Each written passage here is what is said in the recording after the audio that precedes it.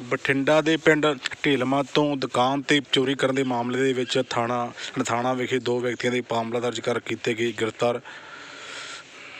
ਨਥਾਣਾ ਥਾਣਾ ਦੇ ਐਸਆਈ ਗੁਰਦੇਵ ਸਿੰਘ ਨੇ ਜਾਣਕਾਰੀ ਦਿੰਦੇ ਹੋਏ ਦੱਸਿਆ ਕਿ ਬਠਿੰਡਾ ਦੇ ਪਿੰਡ ਢੇਲਮਾ ਵਿਖੇ ਇੱਕ ਦੁਕਾਨ ਦੇ ਉੱਤੋਂ ਇਹਨਾਂ ਵਿਅਕਤੀਆਂ ਨੇ ਕੁਝ ਸਮਾਨ ਚੋਰੀ ਕੀਤਾ ਸੀ ਤੇ ਉਸ ਤੋਂ ਬਾਅਦ ਇਹਨਾਂ ਤੇ ਮਾਮਲਾ ਦਰਜ ਕੀਤਾ ਗਿਆ ਤੇ ਇਹਨਾਂ ਨੂੰ ਗ੍ਰਿਫਤਾਰ ਕੀਤਾ ਗਿਆ। ਉਸ ਤੋਂ ਬਾਅਦ ਇਹਨਾਂ ਤੋਂ ਪੁੱਛਗਿੱਛ ਦੌਰਾਨ ਕੁਝ ਸਮਾਨ ਬਰਾਮਦ ਵੀ ਕਰਾ ਲਿਆ ਗਿਆ ਤੇ ਅੱਜ ਇਹਨਾਂ ਦਾ ਮੈਡੀਕਲ ਕਰਵਾਉਣ ਤੋਂ ਬਾਅਦ ਮਾਨਯੋਗ ਅਦਾਲਤ ਦੇ ਵਿੱਚ ਪੇਸ਼ ਕੀਤਾ ਜਾਵੇਗਾ ਤੇ ਉੱਥੇ ਰਿਮਾਂਡ ਹਾਸਲ ਕਰਕੇ ਹੋਰ ਵੀ ਸਮਾਨ ਇਹਨਾਂ ਤੋਂ ਬਰਾਮਦ ਕਰਵਾਇਆ ਜਾਵੇਗਾ। ਮੈਂ ਏਐਸਆਈ ਗੁਰਦੇਵ ਸਿੰਘ, ਥਾਣਾ ਨਥਾਣਾ, ਡਿਸਟ੍ਰਿਕਟ ਬਠਿੰਡਾ ਕੀ ਮਾਮਲਾ ਜਿਹੜੇ ਦੋ ਬੰਦੇ ਫੜੇ ਇਹ ਜਿਹੜੇ ਦੋ ਬੰਦੇ ਅਸੀਂ ਫੜੇ ਆ ਇਹ ਢੇਲਮਾ ਪਿੰਡ ਦੁਕਾਨ ਦੇ ਵਿੱਚ ਉਹਨਾਂ ਨੇ ਕਰਿਆਨੇ ਦੀ ਦੁਕਾਨ 'ਚ ਚੋਰੀ ਕੀਤੀ ਸੀ।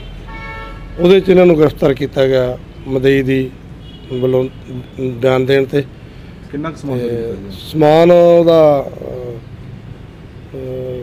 ਐਲਸੀਡੀ ਕੈਮਰੇ ਤੇ ਇਨਵਰਟਰ ਕੁਝ ਹੋਰ ਜ਼ਰੂਰੀ ਵਸਤਾਂ ਦਾ ਸਮਾਨ ਉਹਦਾ ਚੋਰੀ ਹੋਇਆ ਸੀ। ਇਹਦੇ ਵਿੱਚੋਂ ਅਸੀਂ ਕੁਝ ਸਮਾਨ ਬਰਾਮਦ ਕਰ ਲਿਆ ਬਾਕੀ ਬਰਾਮਦਗੀ ਬਾਕੀ ਹੈ। ਅੱਜ ਕੋਰਟ 'ਚ ਪੇਸ਼ ਕਰ ਰਹੇ ਹਾਂ? ਅੱਜ ਇਹਨਾਂ ਨੂੰ ਕੋ- ਮਾਣਯੋਗ ਅਦਾਲਤ ਵਿੱਚ ਪੇਸ਼ ਕਰ ਰਹੇ ਹਾਂ। ਤੇ ਪੇਸ਼ ਕਰਕੇ ਪੁਲਿਸ ਰਿਮਾਂਡ ਹਾਸਲ ਕਰਕੇ ਅੱਗੇ ਤਫਤੀਸ਼ ਕਰਕੇ ਬਾਕੀ ਬਰਾਮਦਗੀ ਵੀ ਕਰ ਕਰਾਂਗੇ। ਜੇ ਤੁਸੀਂ ਚਾਹੁੰਦੇ ਹੋ ਕਿ ਹਰ ਤਰ੍ਹਾਂ ਦੀ ਖਬਰ ਤੁਹਾਡੇ ਤੱਕ ਪਹੁੰਚੇ ਤਾਂ ਤੁਸੀਂ ਮੇਰੇ ਚੈਨਲ ਨੂੰ ਸਬਸਕ੍ਰਾਈਬ ਕਰੋ ਅਤੇ ਘੰਟੀ ਨੂੰ ਆਲ ਤੇ ਕਰੋ।